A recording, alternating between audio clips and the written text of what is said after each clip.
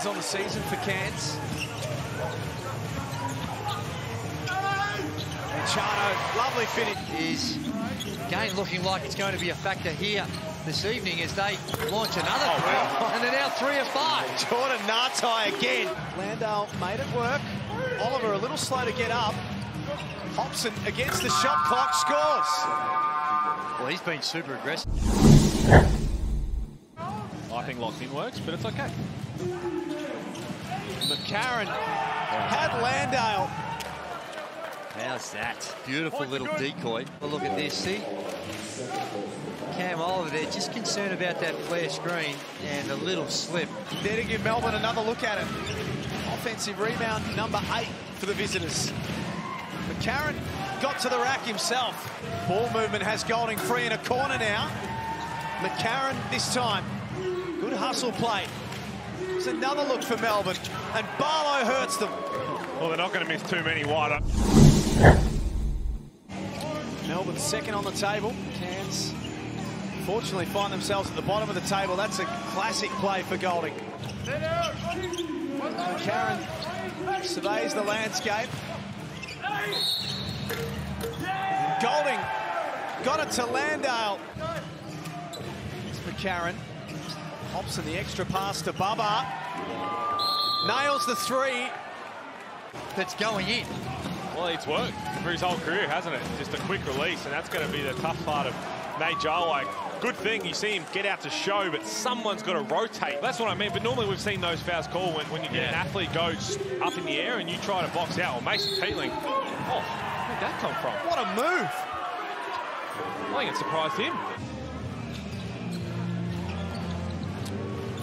Djeric found in the motion of shooting. Three goes down and an extra to come. Going away and the hard thing, Mitch McCarron try. You can't.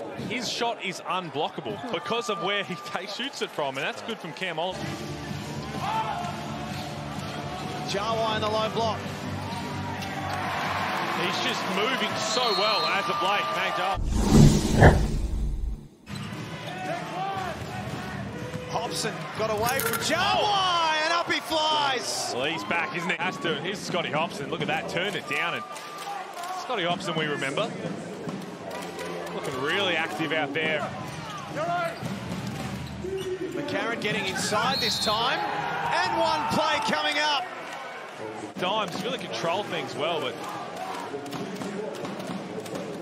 look at that. And in the first thing, Lisbon's having a really tough night that you can live with having Ngatai in the floor. And as I say, he makes a massive play. Okay. What they needed. Goulding. That's too easy. Another breakdown defensively by Cairns. Peatling scores. To five points, they're only 65 points. You can't pull it all on, his shoulders. Machado has yet to score in the second half at 17 and a half. And there's your boy Ngatai. Steps into an easy three. Anything but that. Had some issues they've had to figure out. And Hopson's got an and one play coming up. Melbourne get beyond halfway. Cairns extend their defense, but Hopson fights through that and puts the exclamation mark. Questions being asked about where they sat in this NBL 21 season.